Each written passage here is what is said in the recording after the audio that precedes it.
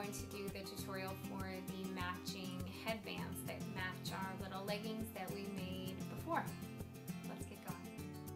So here is what we're going to need for making our headbands. We have these large pieces which are 12 inches by so 12 inches by 7 inches. This one's a little bit more than 7 inches. Then you're going to need two or two, you have one blue and one pink, or just one if you're just making one color, of a little piece that's three inches by four inches. Then an elastic piece that's three inches long, that's the one inch width. And I have just a scrap piece of lace and some scrap pieces of um, just this kind of t-shirt gray material. Um, the gray material is three inches by about four inches, and then the lace is about, gosh, what is it? Three, six, nine, ten inches by six inches. So that doesn't mean that's exactly what I'm going to end up using, but that's what I have, because these ones are just going to be used for the extra little kind of extra little touch that I put on the headbands. But these are the for sure ones. This one, this one, and your elastic, that's what you're definitely going to need. All right, you're gonna start with the big piece, these ones. What you're going to do is simply fold it over. That's it. So you're gonna fold it right side to right side. You can pin here if you'd like, and then just sew across. It can be, um, it needs to be zigzag stitched because it needs to be able to stretch. It doesn't stretch that much, but still it makes it better if it's zigzag stitched just right across across this part right here. Nothing right here or here.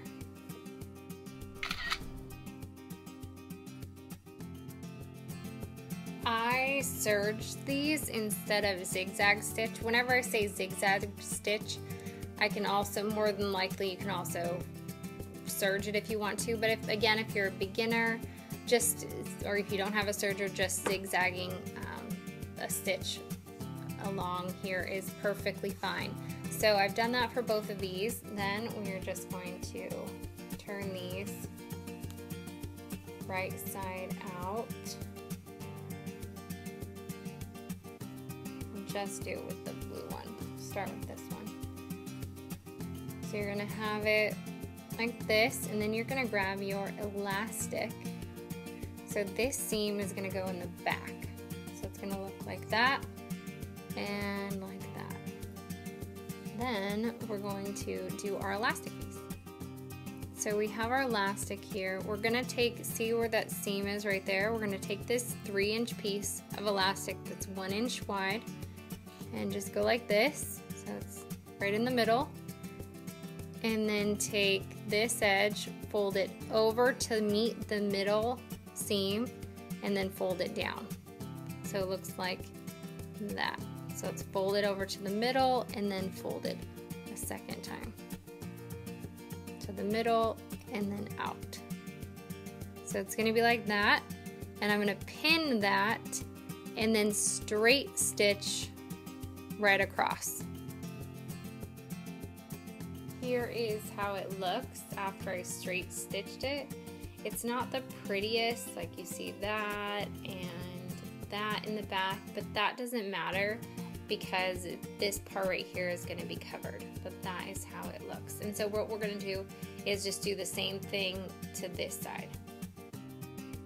Here you can see that I've done both sides. Right here. And here, and then one side just looks like that.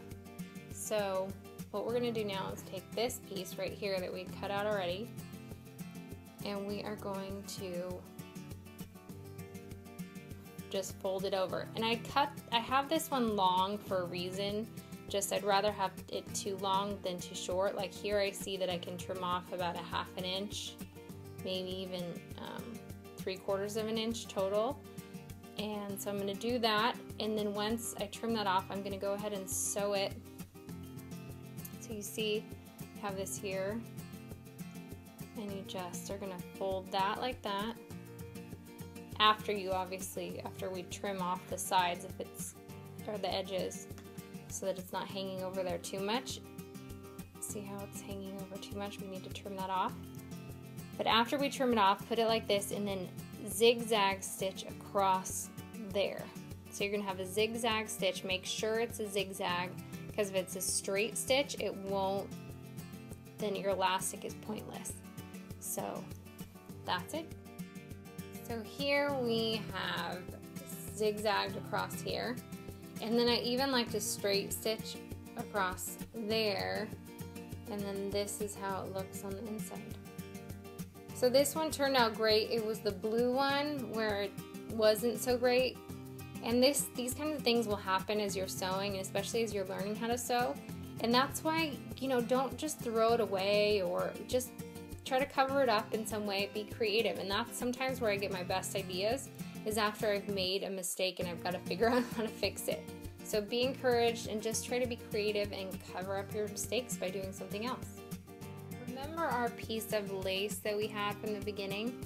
Well, I took that and just cut out a little piece of piece of it, a rectangle that was big enough to kind of just go from one end to the other. And I'm not really concerned here about it matching up, like being exactly the same distance from this edge to this start of the elastic as on this side. I mean, getting it kind of close or to, you know, almost matching is fine, but I'm not concerned, at least with mine.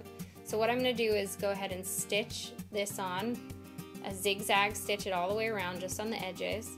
And then we have those gray pieces, remember from the beginning too.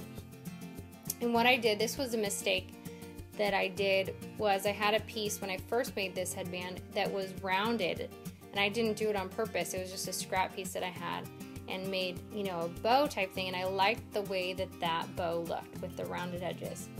So I'm going to stitch on the lace zigzag and then put that right about, you know, on the side. So not in the front. You don't want that in the front. I mean, maybe you do, but I don't.